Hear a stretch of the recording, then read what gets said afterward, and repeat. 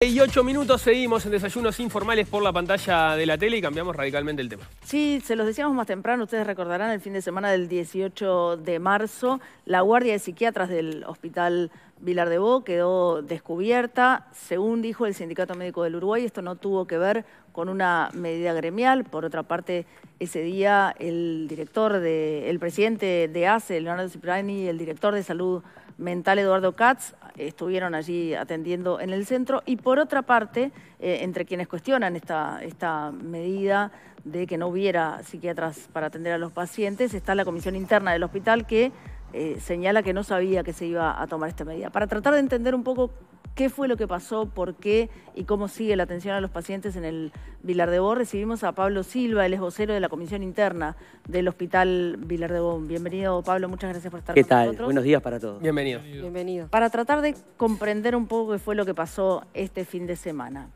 Eh, ¿Las guardias de los psiquiatras estaban asignadas o no para ese día? ¿Se sabía si iban a trabajar o no? A nosotros lo que nos llega la información, dos días antes justamente de, este sábado, del pasado sábado, ¿verdad? De que evidentemente habían este, guardias que, estaban, ya planilladas este, para ese fin de semana, para lo que era la guardia de psiquiatría de la puerta de emergencia del Hospital Bo, ¿verdad?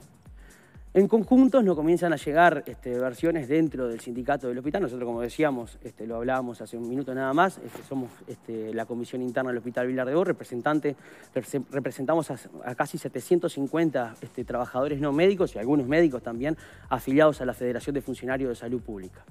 Nos llegaba que el núcleo de base, justamente sindicato de, de psiquiatras del Hospital Vilar de Bo, aparentemente no iba a cubrir la guardia del sábado, ¿verdad? Ese sábado. Bueno, este, nosotros nos hacemos presentes el sábado a primera hora, a eso de las 6 de la mañana estábamos ahí justo, este, junto con los compañeros del sindicato para justamente, a tener una versión eh, del núcleo de base que nos explicara y que nos dijera por qué esa medida sindical. Previo a eso también hubieron llamadas telefónicas que nunca atendieron, ¿verdad? justamente al delegado, este, al doctor Almada, si no, mal no recuerdo, donde tampoco pudimos mantener una comunicación. Ese día llegamos este, a las 6 de la mañana, más o menos a las 8, nos encontramos que estaba llegando, como dice usted, este parte de la cúpula de ACE, vimos al doctor Cipriani, vimos al jefe de salud mental, y bueno, y nos enteramos de que no, no, no, llegaba ningún psiquiatra. En conjunto con eso, nosotros este, teníamos documentos donde evidentemente era una medida este, gremial la que se estaba tomando por parte de este, del núcleo de base de psiquiatras. En torno a eso es que nosotros queríamos mantener una comunicación, porque los que estaban dando la cara, lo que siempre dan la cara cuando se cierra la puerta de emergencia, son los compañeros, los, este, los vigilantes, los auxiliares de enfermería, los licenciados en la enfermería, ¿verdad? O sea, evidentemente que los que siempre estaban ahí y de hace un par de meses que eso más o menos venía sucediendo, no marcado como una medida gremial, pero eso venía sucediendo, eran los compañeros. Entonces, a raíz de eso es que evidentemente generó un malestar. Pero eso, si bien para nosotros ya es un tema que evidentemente pasó, hemos intentado también comunicarnos de alguna manera con, gente, este, compañeros de la Comisión Interna han intentado este, comunicarse con este, parte del sindicato del SMU, ¿verdad? Este, y no han tenido éxito. Sí sabemos que por suerte el pasado sábado la guardia estuvo cubierta, ¿verdad? Pero bueno, este, fue una situación que evidentemente generó malestar en los trabajadores no médicos. Ese documento que tú decís que, tienen y que demuestra que esto sí fue una medida Notas geniales que evidentemente fueron llegando, donde se manifestaba de que no se iba a tomar la guardia, eh, alguna copia de algún mail también, donde decían que no iban a concurrir porque había una negociación el, pasado, el próximo lunes, ¿verdad? El, el lunes pasado que eso sucedió. Evidentemente que nosotros lo que creemos que, a ver, Puede pasar, porque le puede pasar a, cualquiera de nosotros, que mañana evidentemente podamos pisar en falso, ¿verdad? Pero qué mejor que, tender un puente, que dialogar, que hablar con los compañeros, ¿verdad? Que son los que justamente de domingo a domingo se ponen el hospital al hombro, poniéndose a un montón de adversidades, ¿verdad? Bueno, Nada de eso este, sucedió. Nosotros, evidentemente, que no vamos a ir nunca contra lo que es una medida. Podremos compartir, no podemos compartir, ¿verdad? Pero sí, evidentemente, que no es la primera vez que vemos esa falta de solidaridad. Esta, este, la Comisión Interna del Hospital Vilar de que tomó las riendas por allá por el 2017, hemos tenido conflictos de todo tipo, desde cuando la despensa estaba vacía, desde cuando no había este, agua caliente para que los pacientes se bañaran, desde que, este, bueno, cuando tuvimos un brote de sarna, cuando tuvimos el brote de COVID, ¿verdad? Un montón de situaciones que se fueron dando puntualmente donde ni la Asociación de Psiquiatría, ni el Sindicato Médico en Uruguay, ni el núcleo de base nunca se pronunció justamente en lo que eran este, hechos que evidentemente repercutían directamente en la atención a los usuarios. ¿Y por qué entienden que esto está, sí está ocurriendo ahora con este tema? Y porque nosotros creemos que hoy en día el tema es mucho más profundo de lo que pasó ese sábado con la Guardia de Psiquiatría. Nosotros creemos que evidentemente hay una ley, la ley de salud mental, que marca lo que es el cierre del Hospital Vilar de. Para el 2025 deberían cerrarse los... Para el 2025, según la ley, porque la ley lo impone, lo impone, pero la ley no lo trabaja el tema, a tal punto que evidentemente hoy tenemos el hospital con prácticamente 300 usuarios, ¿verdad?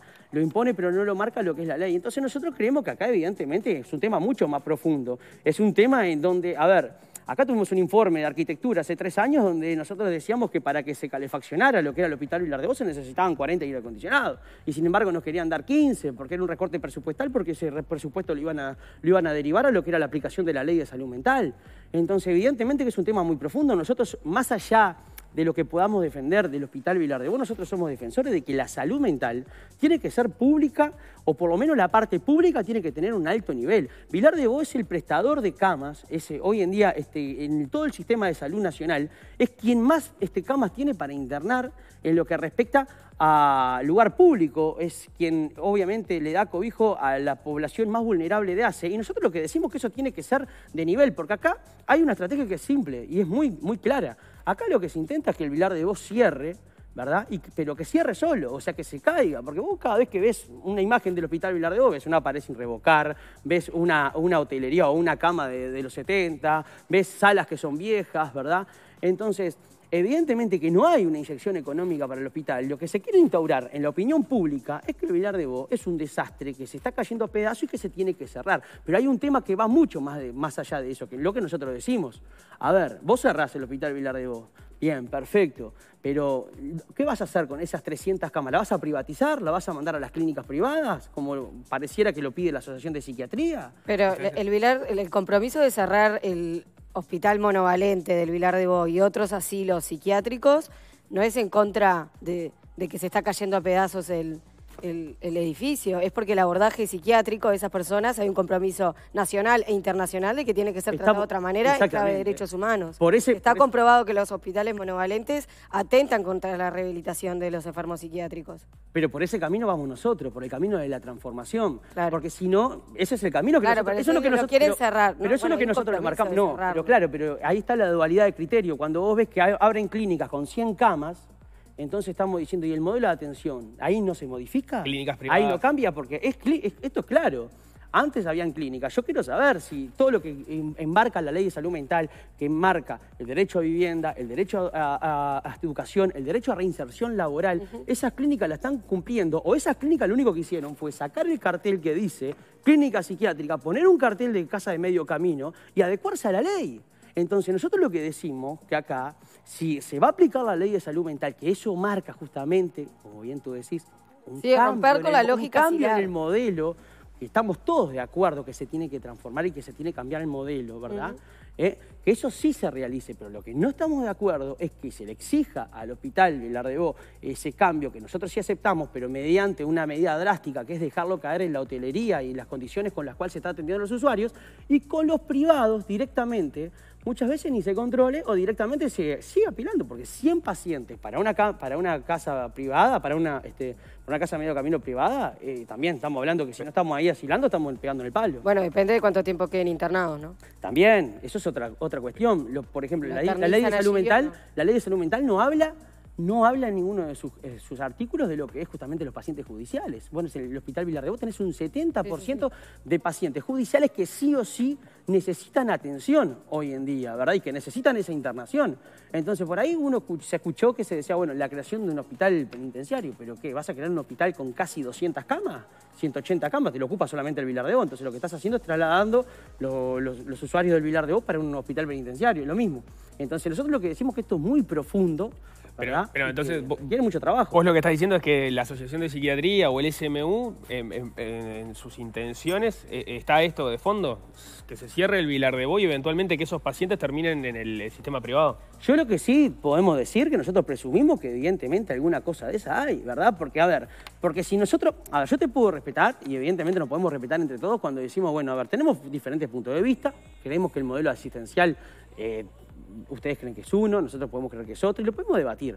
Ahora, cuando hay cosas que inexorablemente no son negociables, ¿verdad? Como no era negociable cuando evidentemente la atención de la alimentación era mala, como no, no era negociable cuando se hablaba de que la calefacción no era buena, no es negociable cuando se tenía que calentar agua en una jarra eléctrica para bañar a un paciente. Entonces, ¿dónde está, dónde se pronunciaron? ¿Dónde está la palabra del SMU y de la Asociación de Psiquiatría en esas cosas que realmente eran graves en su momento? Entonces, cada vez que estamos hablando de ingresos, de factores que de repente pueden llegar a ser económicos, ¿verdad? Porque estamos hablando de que una cama en el privado se paga muchísimo. Entonces, ahí sí hay una participación sumamente activa de una asociación científica como lo es, por ejemplo, la Asociación de Psiquiatría y el SMU, pero cuando estábamos hablando de esos temas, nos dejaron solitos. Acá tenemos, hay algunas no, no, personas... No parece llevarse muy bien con, no. los... No es por llevarse, porque nosotros estamos abiertos. no, no, parecería ser un lugar de, de trabajo que a su vez del cual tiene una importancia reforzada porque atiende la salud de muchos uruguayos donde los funcionarios y los médicos no, no están muy, muy en sintonía. Sí, son temas sindicales, que poco tiene que, evidentemente que en el momento de crear un grupo de trabajo, estas cosas cuando evidentemente los grupos de trabajo están trabajando en sala o en la emergencia, no se está debatiendo de, la ideología de cómo tiene que seguir el hospital. evidentemente que en esos, en esos momentos se, trabaja en torno al usuario. Acá estamos hablando de temas de fondo donde nosotros creemos este, y estamos totalmente convencidos de que esto se merece un debate a nivel público, ¿verdad? Donde decimos, bueno, acá hay diferentes, este, los usuarios, ¿verdad? También la, asociación de usuarios que tiene que estar. Esto se merece realmente un debate hacia dónde vamos con la salud mental, ¿verdad? ¿Qué pasa con el primer nivel de, asistencia? ¿Qué pasa con la promoción? Bueno, ayer veía este, algunos, algunos, este, algunos números donde el año anterior fue récord en suicidios en Uruguay. Entonces, evidentemente que, a ver, que la salud mental tiene que estar en el tapete de cualquier gobierno. El año que viene entramos en, un año electoral. Bueno, hay muchos trabajadores que estamos esperando a ver qué gobierno y qué, qué, es lo que va a haber para los próximos cinco años en cuanto a la salud mental. Hay este, algunas personas del Sindicato Médico del Uruguay que están mirando la entrevista. Nos dicen, por ejemplo, que, eh, bueno, que el sindicato sí siempre denunció las condiciones, las malas condiciones del hospital en distintas cuestiones, pero más allá de eso señalan que eh, no es cierto que estaban las guardias planilladas, que había una, una designación, que no hay designación fija de psiquiatra y que además la psiquiatra que le tocaba trabajar el sábado de noche eh, estaba con licencia médica y no había designado un suplente ni ninguna guardia fija de psiquiatra. Bueno, yo lamentablemente la dejé fuera de cámara, pero la planilla sí, evidentemente que la teníamos, no le íbamos este, a mostrar. Y lo que teníamos entendido, porque evidentemente fuimos y preguntamos sobre eso, de que se había convocado una suplente. Sabíamos de eso, sabíamos de que en la primer, la primer, en la primer planilla también había una, este, una psiquiatra que también estaba de licencia reglamentaria, que se corrigió, pero además, este, según tenemos entendido, ¿verdad? Y según tenemos este, también este, los, documentos, eso se había presentado, ¿verdad? Para que, bueno, para recibir modificaciones. Pero ahora, si yo te mando un mail donde me convocas a una, a una, a una guardia y te digo que no voy porque el lunes hay una mesa de negociación, si eso no es una medida sindical, se parece mucho pero eh, es así que no hay guardia fija de psiquiatra porque eso cambia no, no, estaba, la, la planilla nosotros las tenemos, las tenemos ahí, la planilla estaba, estaba marcado que había una guardia, eh, una guardia marcada por dirección. Nosotros lo que sabemos que con el cambio de dirección... licencia médica? ¿Cómo? Esa persona tenía licencia médica. No, no, se había modificado según tenemos ahí. Mm. Se había modificado y se había llamado un suplente. Es lo que, lo que nosotros tenemos, ¿no? Pero sí sabemos que estaban todos asignados, ¿verdad? Y sabemos que hubo un cambio de dirección en el Hospital Vilar de. Si a nosotros nos dicen qué presumimos con ese cambio de dirección, y lo digo claramente, que evidentemente esto venía sucediendo durante muchos, muchos fines de semana, donde las guardias no estaban cubiertas, ¿verdad? Y que esta dirección, según tenemos entendido nosotros, y así se nos manifestó, vino y dijo, esto hay que cubrirlo y esta sería la manera. E inclusive este sábado, este sábado, este, para agregar, hubo, según nos, eh, este, nos informan a nosotros, estuvo cubierto porque justamente uno de los delegados del, del, este, del SMU y del núcleo de base se juntó con la dirección y cubrieron las, guardias. Entonces, qué fácil hubiese sido si eso se hubiese hecho siete días atrás, ¿no? No hubiésemos pasado por esto. Ahora, entonces ustedes dicen que esto ya venía ocurriendo desde fines de semanas eh, antes. Esto venía ocurriendo no por ¿Qué implica que no haya una guardia? ¿Cuáles son los, perjuicios y los problemas que eso genera? Y eso evidentemente que lo que genera, genera dos cosas. Primero, genera que quien, como decimos nosotros, quien se acerca un sábado o un domingo a una emergencia del Hospital Vilar de Bono se acerca porque tiene ganas evidentemente que se, acerca porque lo necesita.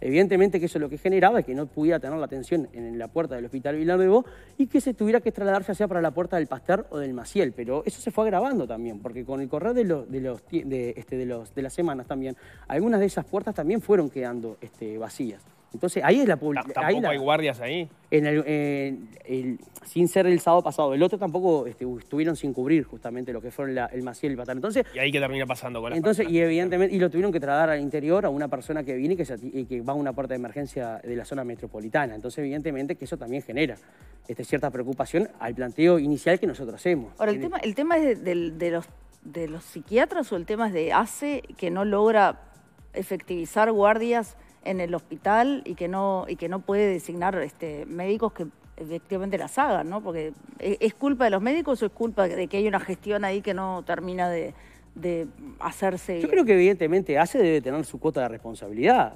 evidentemente que la debe, que la debe tener y que la tiene desde hace muchísimos años, ¿verdad? Justamente todas estas cosas que estamos denunciando nosotros, ya sea con el, cuando estuvo el Frente Amplio o ya sea cuando, este, cuando está este, ahora el gobierno del Partido Nacional, nosotros hemos sido totalmente independientes y lo hemos denunciado. Desde 1984 que estoy en esto y escucho esto siempre. Por eso, siempre lo hemos denunciado. Ahora, contestándolo este, la pregunta este, de ella, yo creo que, a ver, Evidentemente que hay una responsabilidad de ACE indudable, pero también hay una gran responsabilidad en donde si te marcan un planillo, es como que si yo nosotros mañana este, en el Hospital Vilar de Bo decimos, bueno, los enfermeros no queremos trabajar los fines de semana, y si, y si son rotatorios tampoco queremos trabajar y dejamos todo, todo descubierto. ¿Qué pasa con, con enfermería? ¿Qué pasa si lo hacen los administrativos? Entonces, eso sucedió. La, y la, ataque por algo se cubrió el sábado. ¿Y la cátedra de psiquiatría de la Facultad de Medicina prohibió a los residentes hacer prácticas en ACE? Eh, nosotros este, recogimos una de las declaraciones que hizo el doctor Cipriani, en donde...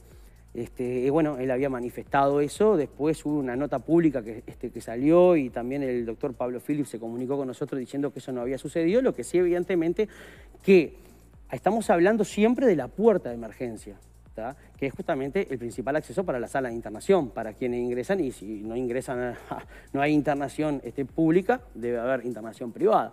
Lo que nosotros este, sí nos llegó la información de que no lo estaba prohibiendo para, para tomar guardias en lo que corresponde en, las, en, emergencia. Pero después ahí sí hubo un ida y vuelta, donde aparentemente, bueno, la cátedra lo que solicitaba era que haya alguien a cargo, que no está mal eso, ¿verdad? Hubo ahí después como que quedó todo medio de manera confusa. Y nosotros lo que, lo que como, como lo decimos, recogemos lo oficial, lo oficial fue que este, el doctor Philip, este, encargado de la cátedra, nos dijo de que no había ningún tipo de, que no estaba prohibido. ¿Y hay estudiantes haciendo las guardias? En este momento no sé si en la puerta de emergencia, sí sabemos que siempre estuvieron eh, en sala, exacto. Ahora, ustedes lo que dicen es que hay un plan a varias bandas entre AS, entiendo, el SMU, la Sociedad de Psiquiatría, para eh, que la ley, de, alguna manera, de salud mental o esa parte del cierre de los, de los centros para el 2021, incluido el Vilar de Voz, se cumpla por la vía de los hechos, ¿no? Que, que se caiga, sí, 2025, este, que, que, que se caiga. y que, no se cumpla por la vía de los hechos, porque que se cumpla por la vía de los hechos sería que la buena aplicación de la ley. Bueno, pero en definitiva termina cerrándose el centro y derivando esos pacientes al sistema privado. Eso es lo que yo interpreté de lo, de lo que ustedes dicen. Ustedes lo que entienden es que ese, ese plan debería este, realizarse con una transición ordenada, con recursos y con este, un, plan para que esas personas terminen en el sistema público. Nosotros tenemos este, fundamentos, argumentos y un estudio que venimos haciendo desde hace muchos años, que bueno, que no solamente es la actualidad de lo que está sucediendo ahora, sino nosotros creemos que para nosotros es vital dos cosas, el cambio de modelo, como bien lo decían recién, que eso es una transformación que tiene que existir, ¿verdad? Pero en conjunto con el cambio de modelo y la transformación, evidentemente que camas de internación pública y camas de internación pública de buen nivel, acoplados a lo que es la ley de salud mental. Nosotros no podemos estar eh, eh, en desacuerdo y decir, no, acá hay que cerrar todo lo que sea público, acá hay que eh, directamente, bueno, este, con el FONASA, que quien venga este, mañana, quien vaya a, una, a, un hospital este, público, que bueno, que lo si necesita internación, que lo terminen derivando a, una, a un privado. No, nosotros lo que queremos es que, a ver, que hayan camas dentro del sistema de salud nacional, ¿eh? que sean públicas, que sean de buen nivel, que estén al nivel del privado en lo que, quiere, en lo que respecta a la hotelería, porque en lo que respecta a los aspectos técnicos nosotros creemos que no estamos muy lejos, ya se puede ver con la dotación de lo que son, este, bueno, ahora en la emergencia, que es, no es la sala de internación, teníamos este, teníamos este problema con psiquiatra, pero hablando de la sala de internación, nosotros creemos que sacando la hotelería, después los profesionales son prácticamente los mismos los que trabajan, tanto los psiquiatras como los enfermeros, como el resto del equipo, ¿verdad? Entonces nosotros, nuestra lucha es por eso, nosotros creemos que dentro del sistema de salud nacional, eh, la salud mental tiene que ser pública o la parte de esa pública tiene que ser de muy alto nivel. Eh, ¿Cuál es la situación hoy del, del, del Vilar de Bo en relación a todos esos problemas que vos fuiste enumerando que se iban dando y que, según decías, no, no tuvieron apoyo ni, de la Sociedad de Psiquiatría ni del SMU? Eh, el tema del agua caliente, el tema de los medicamentos. Eso, el tema, el tema del agua caliente, bueno, eso se ha, solucionado en conjunto con lo que es la despensa ya desde hace, desde a fines del del 2019, cuando, este, cuando con la presidencia inclusive de Marcos Carámbula fue cuando eso se comenzó a, regularizar mucho y no hemos tenido mayores dificultades, ¿verdad? Evidentemente que sí hay un, un faltante de personal, En lo que respecta a algunos sectores, como evidentemente puede ser tisanería, cocina, pero hay una cosa que es real, este, y de repente capaz que no soy el más objetivo para decirlo, pero lo podemos decir, tenemos un compromiso de los funcionarios que trabajan ahí tremendo, las condiciones, si bien este, muchas veces las condiciones para los usuarios este, eh, edilicias, estructurales, no son las mejores, evidentemente que tampoco son las mejores para los funcionarios que trabajan ahí, y sin embargo tenemos funcionarios que tienen muchísima vocación, muchísimo amor al, este, al hospital, y le tienen muchísimo cariño a los usuarios, ¿verdad? Y bueno, y eso termina equiparando y a veces este, este, suplantando algunas carencias que hay. Pablo Silva, vocero de la Comisión Interna del Vilar de Bo, muchas gracias. a ustedes, por favor. Muchísimas gracias. Ahora cuando